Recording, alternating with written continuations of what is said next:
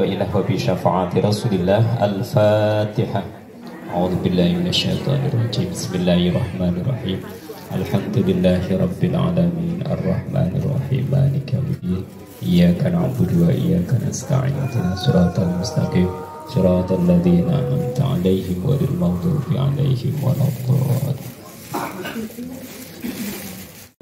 Nur Jannah. Kayaknya dulu ada yel-yelnya ibu ya. Iya masih ingat. Oh dereng. Sarang-sarang ya. Apa kabar? Oh apa kabar? Apa kabar Bu Salehah? Ih, jalan-jalan ke rumahnya Pak Sabar. Assalamualaikum, apa kabar ibu-ibu?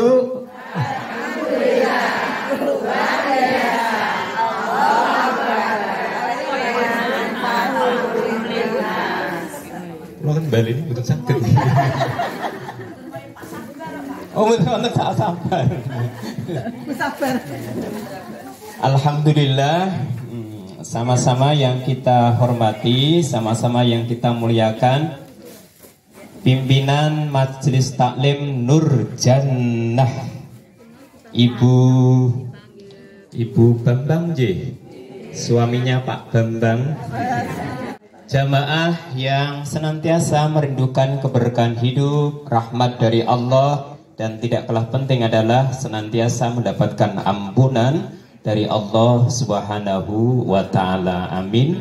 Ya rabbal alamin. Alhamdulillah pada pagi hari ini di penghujung bulan Mei di tengah-tengah saudara-saudara kita, tetangga kita yang sudah berangkat ke tanah suci wonten ibu? Kata.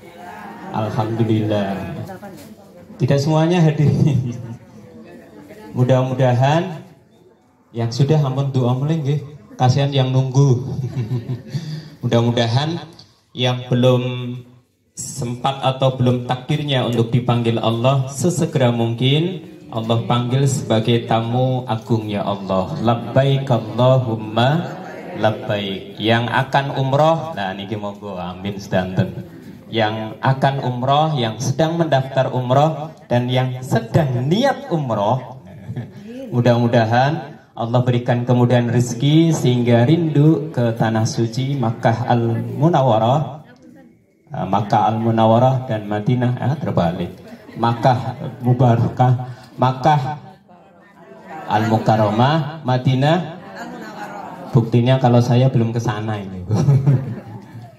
Kayaknya kemarin cek di sana itu masih 30 lebih tahun.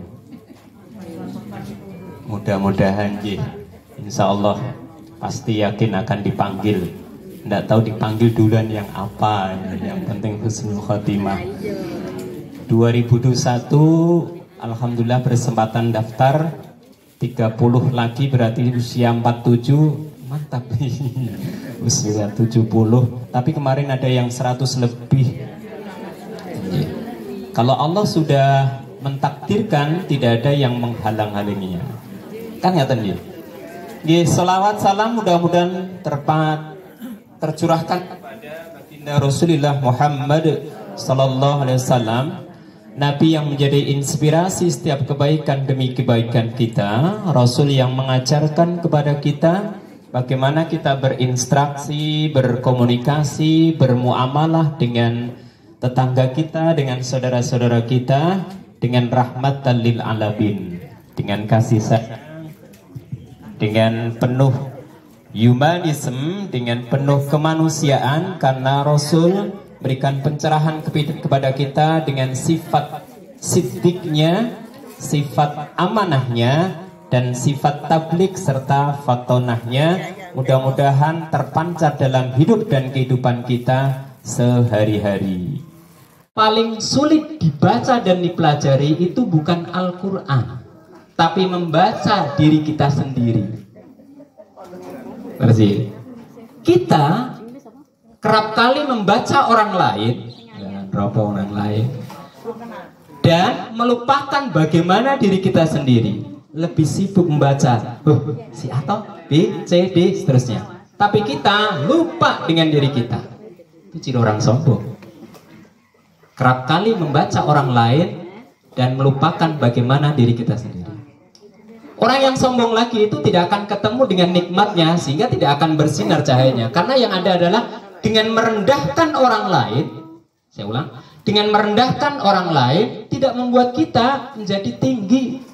Bentar, kita merendahkan orang lain, apa jaminan kita jadi tinggi? Dengan menghinakan orang lain, selalu kita gunakan orang lain, tidak membuat kita menjadi mulia. Tidak pasti. Dengan menjelekkan orang lain, dengan menjelekkan orang lain, tidak membuat kita juga tidak akan membuat kita menjadi baik. Justru akan memperjelas keburukan kita. Justru akan membuat atau memperjelas keburukan kita. Pun bisa dipraktekkan. Jadi kalau ada si A, si B, si C kanan kiri kita kemudian kita ceritakan jelek-jeleknya, kita jelekkan orang itu, kita burukkan nama baiknya, apa yang terjadi terhadap orang itu pasti tidak akan membuat dia baik, malah justru akan merendahkan dia. Oleh karena itu ibu tetaplah berbuat baik meskipun orang lain menyatakan kita ini buruk. Tidak peduli. Bon boten sah kita pikirkan orang lain untuk menilai kita apa. Sepanjang kita yang lakukan adalah kebaikan Dan tidak ada rasa kesombongan. Tidak ada rasa ria, tidak merendahkan orang lain. Terserah orang lain.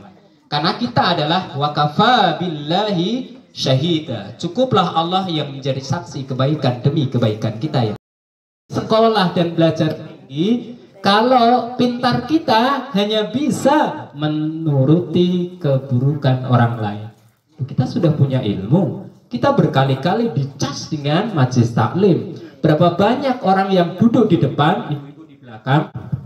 Bersih. Tapi kenapa enggak kalau hanya kita menuruti keburukan orang lain? Berarti ada apa itu? Maka harus kita benahi. Itu ya. Maka yang jadi orang baik atau buruk menjadi orang baik atau buruk karena kaitannya dengan penyakit hati sombong itu bukan orang lain yang menentukan, tapi pilihan kita. Kalau hati ini bersinar menghilangkan penyakit-penyakit terutama yang sombong itu, maka kita tidak akan memilih keburukan. Tapi yang kita lakukan adalah kebaikan, kebaikan, kebaikan.